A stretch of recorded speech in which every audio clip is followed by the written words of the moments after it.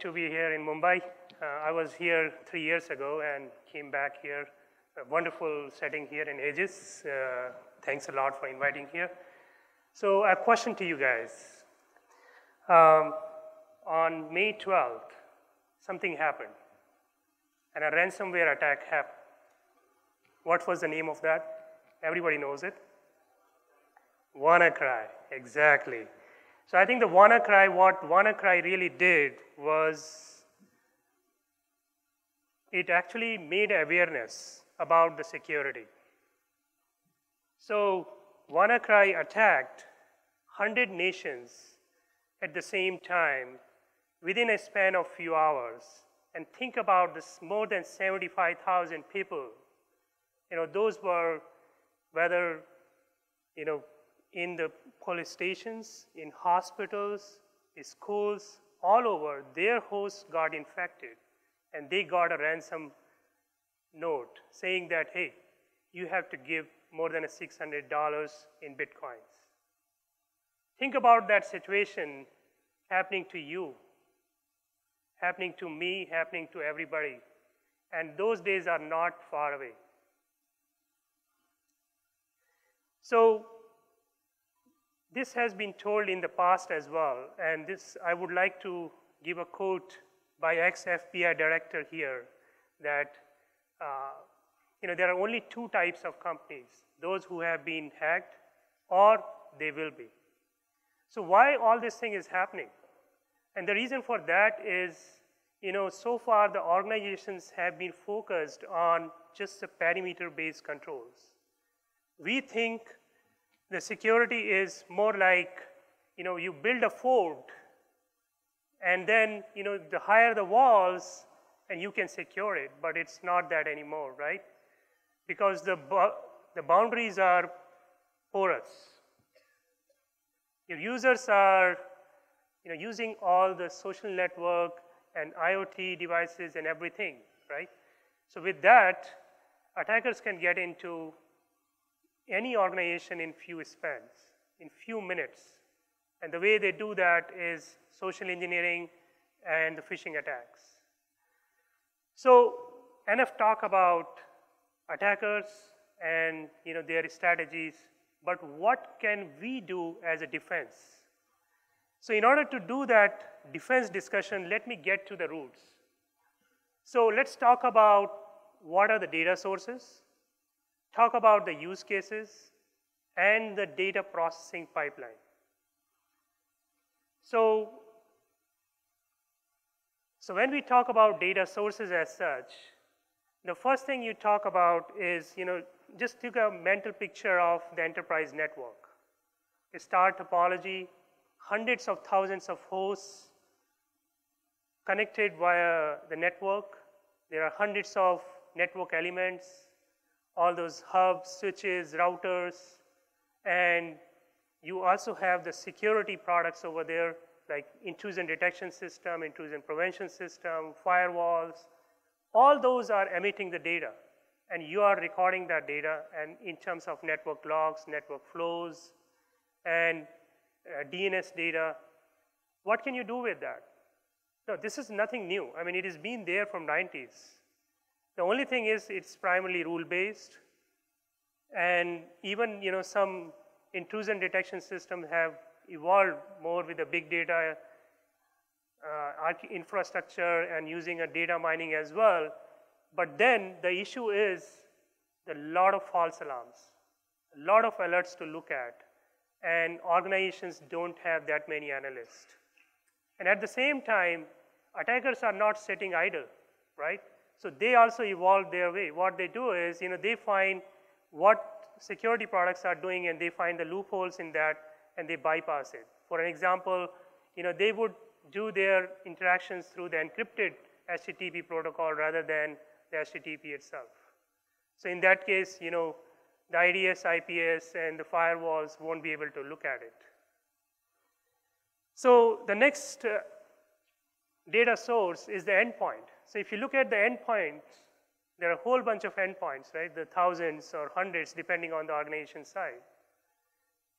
And there you monitor the operating system uh, logs, processes, applications, and so on.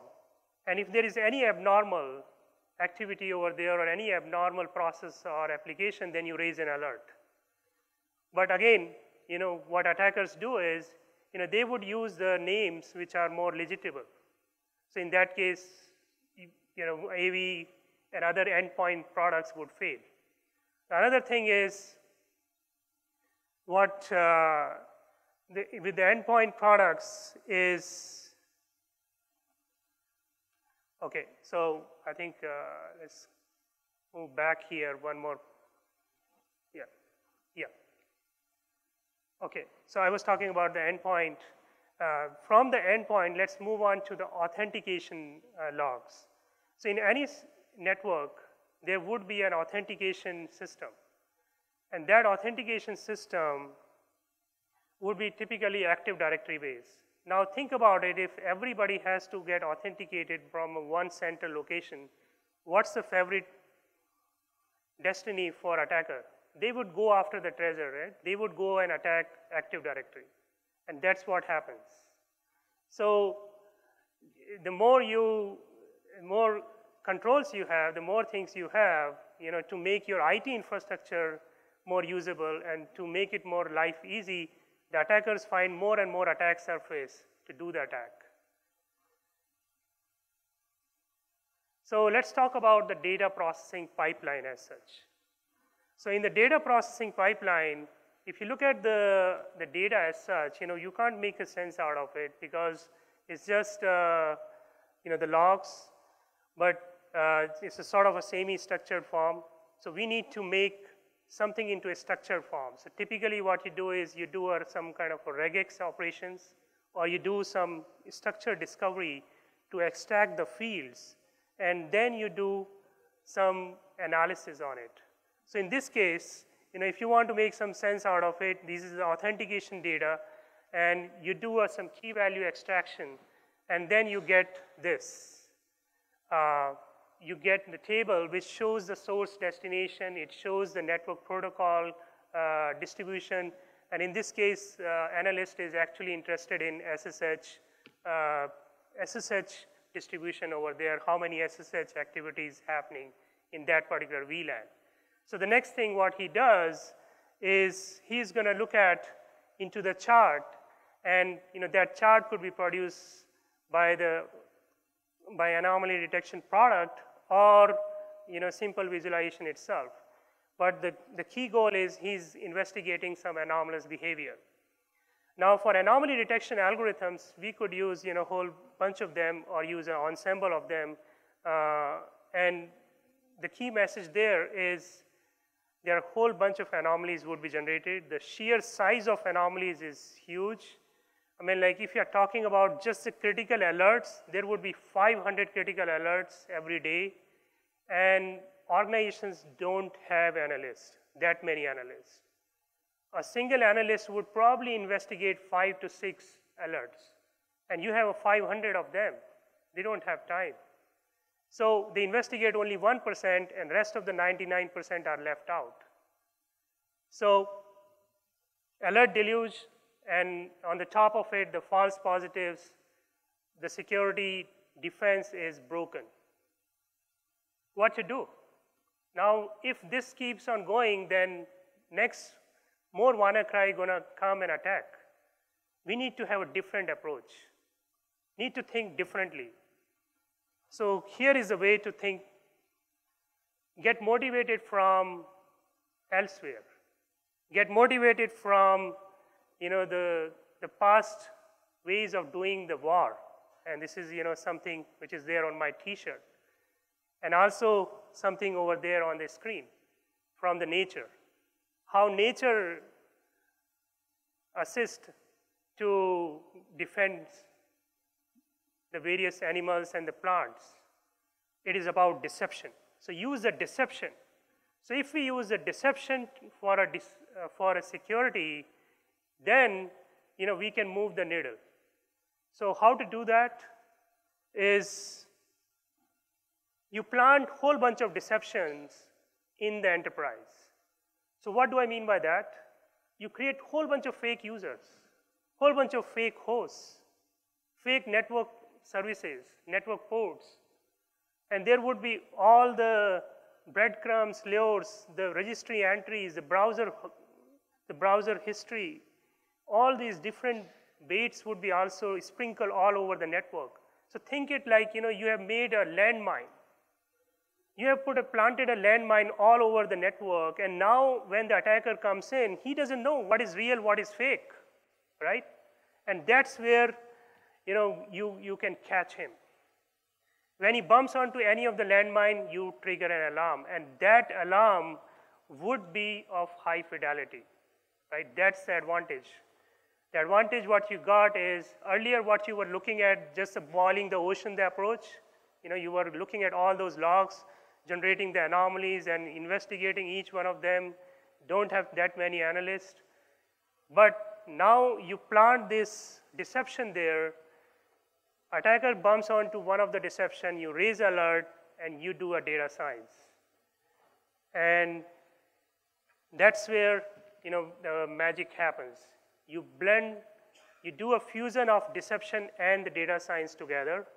And as I was saying that the deception gives you high fidelity alert, zero false positive, you take that, you correlate with the security events, like all the logs I talked about, authentication logs, network flow logs, uh, also the end user logs, take all of them and see, you know, all those logs next to the deception event and create wonderful insights about that attack and about the attack vector and about the attacker itself.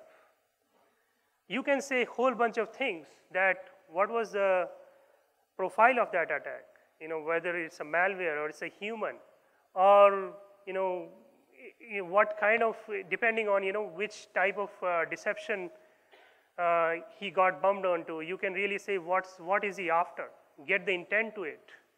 So with this, I will give you one crisp example of you know, what can be done.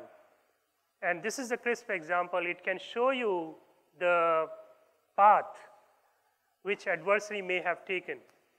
And the way you compute this path is you start from the right-hand side is, you know, you, you have planted the deceptions in the network, and when the attacker got bumped onto it, you have got the alarm. You took that alarm, you did the correlations, do the correlations, and then figure out what other hosts it may have touched.